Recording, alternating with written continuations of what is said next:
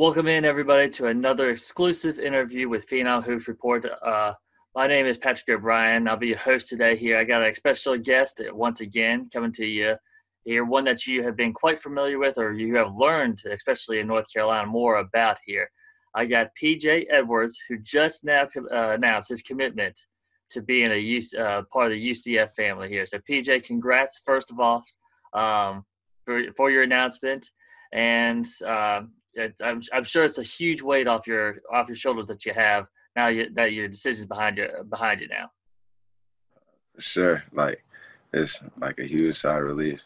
I mean, it's happy. Like it feels good just knowing I got a home next year and knowing where I'm going, and just being situated now, just focusing on coming in and just working and being the best I could be.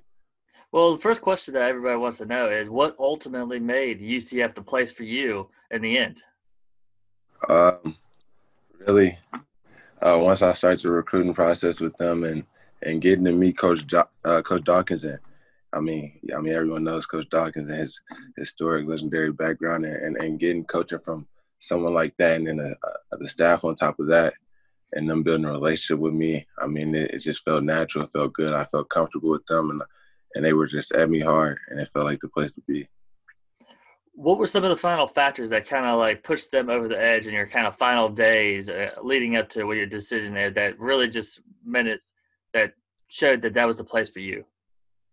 Uh, really i would say um, knowing knowing the staff and having a genuine relationship with them and just through the zooms because you know you can't you can't get out and meet anyone face to face but through the zooms and and doing the process to the zone and them seeing my family and my family getting comfortable with them and just getting to know them and then learning more about the situation and the opportunity there at the program. I mean, it it just all made sense and, and we are comfortable. We are comfortable. How did you kind of inform the staff and what did they have to say? I'm sure they were excited to get uh, grab a talent like you there. So what did they have to say when you when you told them? I mean, they were they're extremely excited. They just they were just saying like, let's get in and work. Like we're right back, we're right to it. You know, we're not gonna waste any days, and we're gonna keep building up the program. And they're excited for me to come in and be a part of the family. Now you mentioned it's been a it's been a unique times, I would say, of everything. So you've had to do a lot of Zoom calls, like you mentioned, everything like that. How has this? Uh, I've always been interested. How has this recruiting process? Obviously, this is your kind of first time going through and everything like that. Um, but how has it kind of been different for you? And what were some of the the things that you had to kind of really focus on, not getting the full, you know, getting out to see everybody, um, you know, going to see, uh, going to see the program and everything like that. You had to do a lot of uh, virtual stuff in there. What were some of the kind of things that you had to go through and everything with the recruiting process? Uh, for one, I mean, like you said, like it's a, it's a whole different day and age right now. So like this is something like we haven't seen before. So, I mean, doing everything through the zooms and stuff for sure you have to like because you don't get to meet people face to face so you have to value your time on there. You got to really soak in all everything that they're saying to you and you got to weigh your options. And i feel like uh, with this i feel like what made what made ucf stand out to me during this process and what was big to it was because like ucf was one of the most consistent schools on me. And like with everything going on like this it's hard to you know you can't you can't see anyone face to face. So just building that relationship every day and, and, and, getting closer and really understanding and knowing who, who they were. And, and, that was probably that's probably like that was the hugest factor in in this for me. So yeah. It's really developing that relationship even stronger hold and like really trusting kind of hearing what yeah. you hear from them especially just being able to do it over virtual uh, everything. It's it's a different experience for sure sure. Um, you mentioned it a little bit now. Uh, I know you're excited about playing uh, under Coach Dawkins here, but what what is kind of your excitement now, knowing that you're going to be playing for you know a, a fantastic coach and uh, just learning more from what uh, his experience and, and under him?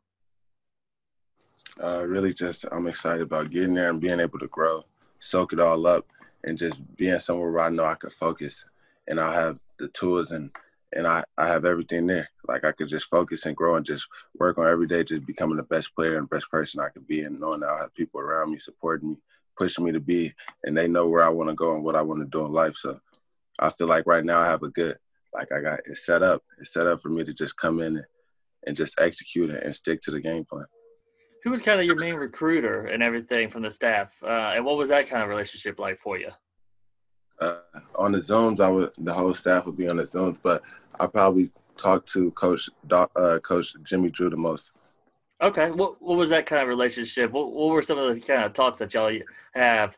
Um, whether it's whether it's a, through the recruiting process or just you know just talking basketball or life or anything like that. Uh, well, it's crazy because I'm from Springfield, Illinois, and Coach uh, Coach Drew is too. So he knows my first high school coach. So he knows him like really well. So automatically we had we had a strong tie back home. So that kicked it off. So like when me and Coach Drew talked, we we could talk about a lot because we're from the same area. We know the same peoples and and like it's a small it's a small city. So I mean that itself that that was another boost that made me really comfortable with Coach Drew and like we we got to talk like we knew each other for a long time instantly that had to that had to really help in that recruiting process. Just kind of having that background and that closeness there. Yes, sir. Yes, sir. Now, what's your excitement now playing in a conference like the uh, AAC here? Uh, man, uh, it's a lot of odds and it's a chance. It's like it's a, it's a lot of odds and it's a chance to be noticed, chance to be seen. And, and UCF is a program on the rise, so I feel like I can come in and contribute to that. I fit in with the culture and I and I can come in and make an impact and just yeah, I just got a chance, an opportunity, and I'm, I'm grateful for that. Now, I want to give people that uh, uh, don't know your story quite yet uh, a little bit yet. There, you just mentioned a little bit that uh, where you where you came from here, but then you moved to North Carolina. Just tell tell us the fans, UCF uh, fans, and everybody else listening, or kind of your little uh, little background history of coming from where you started to where you are now. Okay, so I'm from Springfield, Illinois. I moved from Springfield, Illinois, my sophomore year uh, I moved to Indiana. So like my story, I've been everywhere. Like it's it's chaotic. So it's been it's been a lot. So I moved from Indiana my junior year. Then I moved to Minnesota. So I went to school called Minnesota Prep, and uh, here it was my first year coming off an injury, and I got my name out there a lot. Like I came out and I was really hungry, considering what happened the year before. So I was really hungry. I came out, I got my name out there a lot, and then moving to North Carolina this last year, I mean, it kicked it off even more, and more people saw my hunger and my story, and and and, and just supported me, and it's just it's just been up since. Uh, we've got a great chance of seeing you here. We've had to see you with Team Curry in the summer there, and now with Liberty Heights uh, and everything. What has it been like playing in North Carolina, and especially with Liberty Heights uh, starting this season with your with a very talented group of people haven't seen y'all yet? Uh, so I mean, you hear it a lot. North Carolina Carolina's called the Hoop State. But um, I mean, coming here, it's a lot of exposure. So it's a big time platform. So instantly, there's eyes on you. And then the style of basketball in North Carolina is different. Like I, like basketball is different in each region. But like coming to North Carolina, you see this different type of play, and then my play is different from there. So little things stick out, and I take little things from the from the uh, players I see in North Carolina that I like, and I, I want to add to my game. And I mean, I think it's just contributed to my overall growth like seeing more basketball, getting around more basketball people. It's just allowed me to keep absorbing and growing. Now, as far as your game goes here, what what are people, what are UCF fans can expect to see, from, and what do you think you could bring uh, to the uh, program? Kind of describe how you like to operate and everything on the court.